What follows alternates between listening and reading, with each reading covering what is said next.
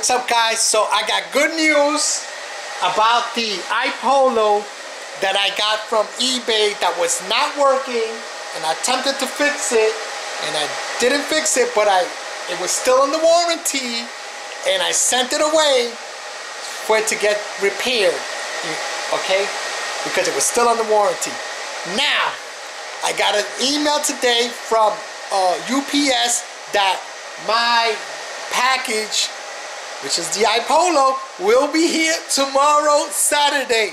So it's coming, it's on its way, and it should be repaired. So I'm so happy about that, you know. So I did turn them on. I got them running. Remember when I told you, the, I'm always switching things. I'm always switching from coin to coin. And I decided to switch. Remember I said I was um, getting uh, Bitcoin. I switched it again and now I'm back getting Kaspa. So now I'm back getting Kaspa on just these uh, iPollos. They're getting Kaspa. Uh, well, they're mining Ethereum Classic on Unmineable, on the Unmineable uh, website or algorithm, whatever, and they're being converted to Kaspa. So I'm back to getting Kaspa again on these six machines here. I decided to go that route just for a little while because I heard that and I know that ASICs are coming, these uh, high-powered ASICs that to mine Kaspa are coming in and that's going to mess up everything. So I decided to go ahead and do this for a little bit. I don't know how long. And then, and then end up going back to Bitcoin again.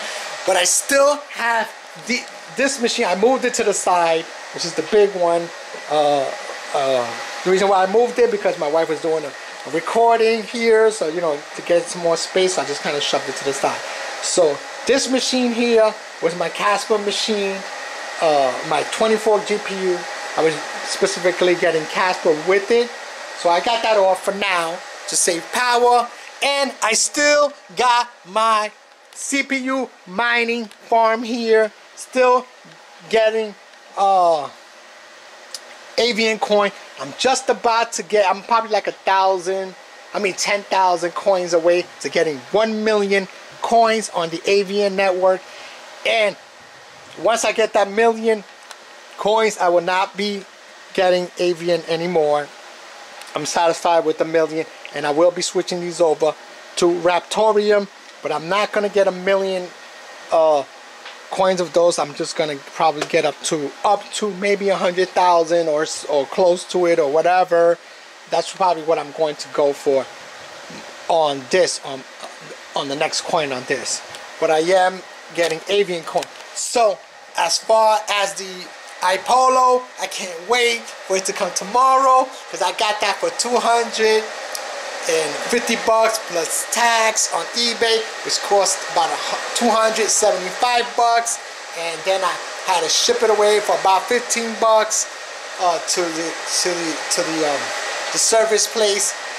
Uh, but it still was under warranty so it it, it, it, uh, it came out to a total about 285 bucks for 600 well more than 600 with tax for six, uh, uh, 600 and about 70 dollar mine mining miner okay? So I'm happy about that. I saved some money there.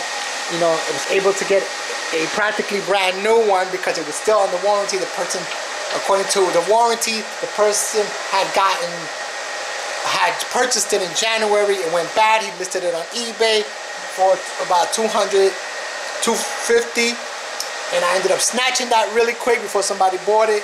And I, uh, because I, I was gonna you know like I said I was gonna attempt to repair it. I did try to repair it. I, I tried to find what the issue was. I couldn't uh, find what, what, what was the issue. But it was coming pretty much from the the main uh, chip main CPU whatever there. So uh, it seemed like there was a short there or, or coming from that area um, that's pretty much what I got, info that I got. So, with that being said, I contacted iPollo. They told me it was still under warranty. And, and to send it out, they gave me the address and everything. I sent it out. Boom. So it's been already like a little over two weeks. And I'm going to get it tomorrow. I'm so happy about that. And just that's it for the video. Don't forget to like, share, and subscribe. And I'll catch you guys later on the next one. Peace out. I'm out.